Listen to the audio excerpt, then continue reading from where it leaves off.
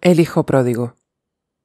Un hombre tenía dos hijos, y el hijo más pequeño le dijo a su padre, Padre, dame la parte de la propiedad que me pertenece. Entonces el padre dividió todas sus posesiones y le dio su parte a su hijo pequeño. No mucho tiempo después, el hijo juntó todo lo que tenía y se fue a un país lejano. Allí se gastó todo el dinero en una vida locada, en unas cuantas cosas tontas, Compró mucha ropa y se gastó el dinero en apuestas, en alcohol y en mujeres. Hizo muchas otras cosas malas también. Falló muchas personas que la querían. No cumplía con la palabra. Robó, mintió e hizo de su vida un camino de errores.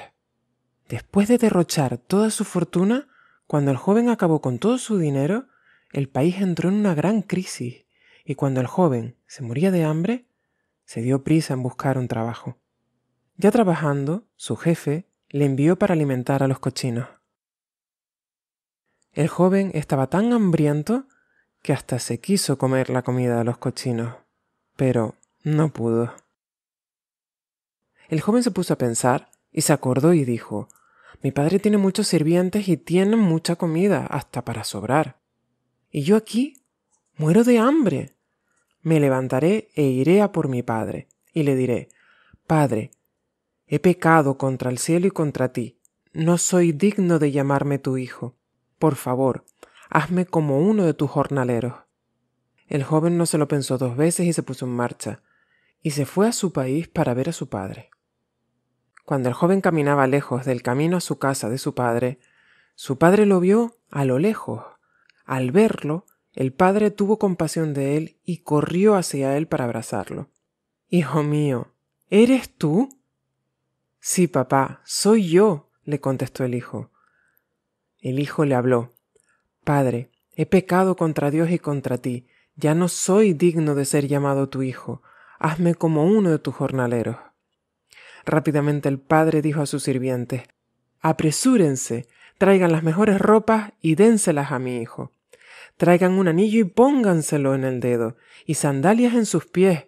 Maten el mejor ternero que tengamos y prepárenlo. Haremos una fiesta y nos alegraremos porque mi hijo que estaba muerto ahora vive.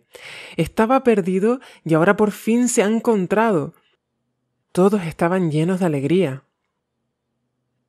Jesús nos enseña esta historia para mostrarnos lo mucho que Dios, nuestro Padre en el cielo, nos ama.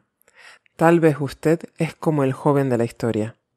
Dios quiere que regresemos a casa con Él. Por esta razón, Él envió a su Hijo Jesús para reconciliarnos con Él. Jesús murió en la cruz, tomó el castigo, el dolor y la muerte que nosotros merecíamos por nuestros pecados. Si nos arrepentimos, rechazamos el pecado e invitamos a Jesús a entrar en nuestro corazón, Dios nos acepta. Jesús dijo, Yo soy el camino, la verdad y la vida, y nadie viene al Padre si no es por mí. Dígale así, Querido Dios, soy un pecador. Creo que Jesús murió y sufrió el castigo por mí. Por favor, perdóname. Ahora yo rechazo los caminos malos y seguiré solo a Jesús. Quiero que seas mi Padre. Por favor, hazme hijo tuyo. En nombre de Jesús. Amén.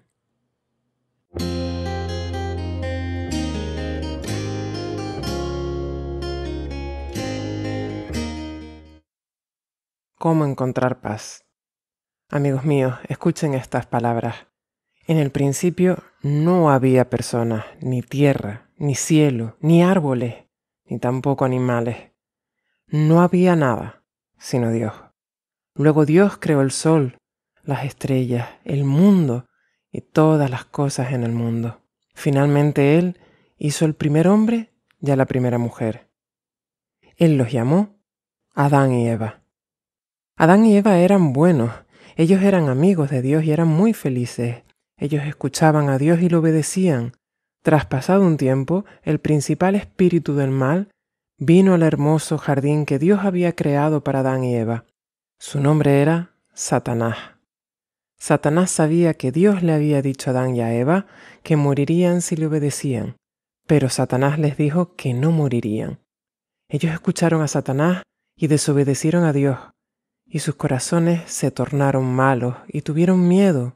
Desde ese momento, todas las personas han pecado y han tenido dolor y enfermedad. No han tenido paz en sus corazones. Dios amó a Adán y a Eva, y Dios aún nos ama a todos. Pero Dios es santo. Él odia el pecado y la maldad. Dios se lamentó que Adán y Eva hubieran pecado. El pecado los estropeó, y ellos no podrían llegar a Él como alegría. Sus pecados eran como una gran barrera que los mantenía separados de Dios. Entonces Dios dijo que pagarían por el pecado de las personas. Si el pago no era hecho, ellos morirían e irían a un lugar de sufrimiento donde Satanás los castigaría. Pero ocurrió algo maravilloso. Dios amó a todas las personas, de tal manera que Él les dijo que Él mismo pagaría por el pecado que ellos hicieron. Él dijo que Él enviaría a su Hijo único, Jesús, para pagar por sus pecados. Jesús y Dios son solo uno. Jesús sería sacrificado para pagar por el pecado de todas las personas. Él moriría derramando su sangre por todos. Mientras el pueblo esperaba la venida de Jesús, Dios les indicó qué debían hacer. Dios les dijo, ustedes deben sacrificar un cordero. Les dijo que la sangre del cordero no tendría ningún poder, pero que demostraría que estaban conmemorando el día en que Jesús pagó por los pecados de ellos. Esto mostraría que ellos creían en Dios y que estaban tratando de obedecerle. Dios prometió al pueblo que ellos y sus descendientes tendrían paz si hacían esto. Todos aquellos que creyeron en Dios hicieron lo que Él les mandó hacer, y sus corazones se llenaron de paz. Años más tarde, Dios envió a su Hijo. Él nació bebé y creció para ser un hombre. Él fue el verdadero hombre y Él fue el verdadero Dios. Su nombre fue Jesús. Él no cometió ninguna maldad, él no cometió ningún pecado, ni una sola vez. Mientras Jesús estaba en la tierra, Él hizo muchas cosas maravillosas. Él enseñó a las personas sobre el cielo y sobre Dios. Él también sanó muchas personas enfermas y curó a personas de la muerte. Muchos creyeron que Jesús había venido de Dios, pero algunos líderes malvados estaban celosos de Jesús y lo odiaban. Jesús los dejó que lo mataran. De esta manera, él recibió el castigo y Él dio el pago por el pecado.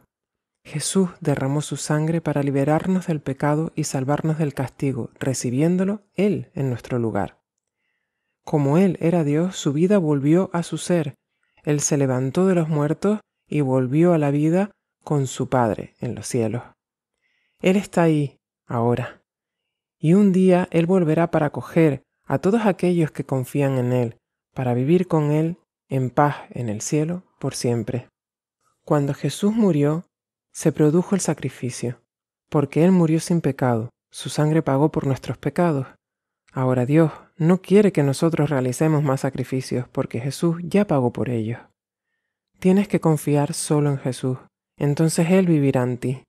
Él pondrá su Espíritu Santo dentro de ti. Él te ayudará a no hacer más actos malos.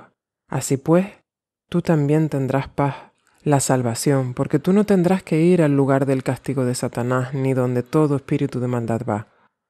Amigos míos, muchas personas no conocen estas buenas noticias. Ellos aún están haciendo sacrificios e intentando pagar por sus pecados. Algunos pagando con dinero, algunos derraman sangre, otros hacen buenas obras, pero todo es inútil. Dios no aceptará nada de esto, porque el pago único que importa es el que Jesús ya hizo. Confía en Jesús y tendrás paz. Dios perdonará tus pecados y te dará vida eterna si se lo pides. Ahora mismo puedes hablar con Él.